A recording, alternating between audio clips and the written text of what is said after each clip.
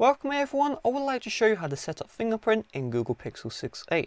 So all you do is head over to the settings app, scroll all the way down until you see security, tap on the security.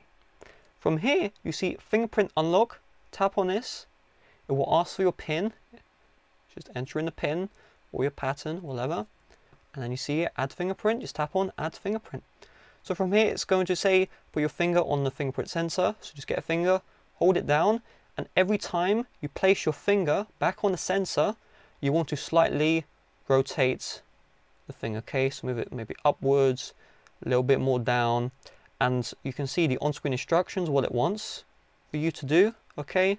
I personally just ignore the on-screen instructions. I just press my finger a bunch of times. The main goal is you want to have a bunch of you know different orientations where your finger could possibly touch the screen so that when you go to unlock it will work no problem. So it says fingerprint added. If you want to add another fingerprint you can. If you're done you just tap on done. And at any time you go back to the fingerprint settings you can always tap on delete right here to remove a fingerprint. So with that being said thanks for watching. See you guys later. Bye bye.